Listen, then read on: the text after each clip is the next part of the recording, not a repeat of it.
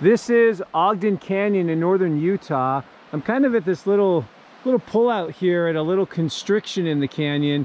Um, and this section of Ogden Canyon, this is Highway 39, uh, displays a really remarkable relationship between a couple of different rocks.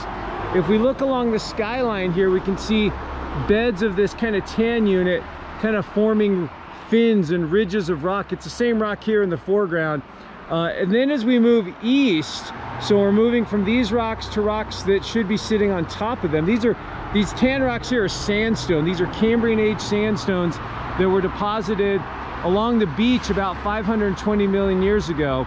Then we end up with this kind of gully area in here, this kind of low section, not a lot of rocks deposited here. This section I'm gonna show you up close here in a second, but this is all shale. So this is mud-rich rocks sitting on top of the sandstones. And then as we look in the distance here, the rocks kind of lit up along the ridge line there, those gray rocks. These are all limestones, and these were deposited in deeper water uh, during the Cambrian.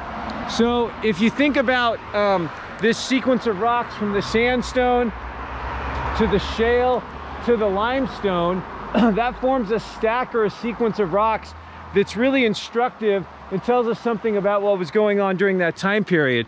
And so what we have then here is a simple diagram is we have beach depositing sands, the shallow ocean depositing muds, which form these shales, which I'll show you here in a second. Uh, and then the deeper water, where only thing that accumulates are the exoskeletons of these uh, simple uh, invertebrates like clams, things like that. And that's what forms the limestone.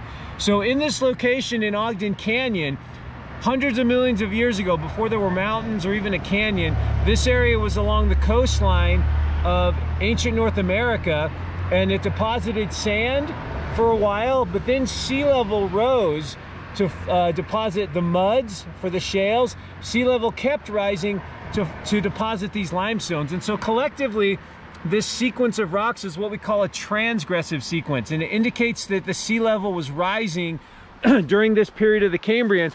What's cool about the Cambrian and this sequence of rocks is we can see nearly identical sequences of rocks from sandstone to shale to limestone on virtually every continent during this time period, about 520 million years ago.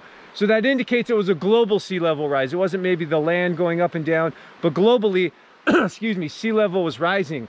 Uh, so the sandstones have a few cool features in them, but they're mainly quartz rich, uh, nothing too remarkable. The limestones uh, occasionally do have some fossils in them, but they're a little hard to get to in this location. But I'm actually standing on uh, some of this shale, which normally is pretty uh, eroded and a little hard to see. So you can see uh, sort of the, the chippy nature of this rock. It sort of breaks into sheets or layers here. Here's a big piece of it here. So it forms these nice, nice flat pieces. The rock is kind of smooth to the touch, which tells me that it uh, was deposited or that it's made up of mud-sized particles. It's not gritty like sand. Here's some little pieces in here. You can kind of just break these like little chips, potato chips with your fingers. But we can see the overall layering here kind of running, not quite vertically, uh, but nearly so as we kind of look up the gully. Here's kind of another view of the layers here kind of coming down this way in this shale. And the last thing I want to point out here that's really pretty cool is this shale in places uh, has these kind of interesting little like tube-like features in it. So there's these kind of random little shapes of kind of tubes and irregular forms. When this shale was deposited, there were life forms on the planet, but they were simple like clams. Uh, life was only in the ocean. So what these are is this is what we call bioturbation. This is actually um, organisms that are burrowing down in the mud on the seafloor. Uh, and these are their little tracks and trails down in the mud. So these are what we call trace fossils.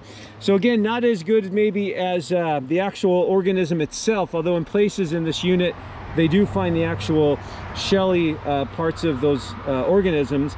But pretty cool uh, record of life on the planet uh, during the Cambrian, these trace fossils here uh, in this shale.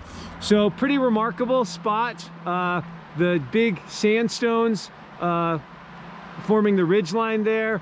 Then we have the shales kind of in the gully going over to the limestones. uh, and all part of this transgressive sequence, sea level rising, progressively depositing rocks, or excuse me, sediments that eventually were uh, compressed into rocks here in Ogden Canyon on a beautiful fall day with the colors.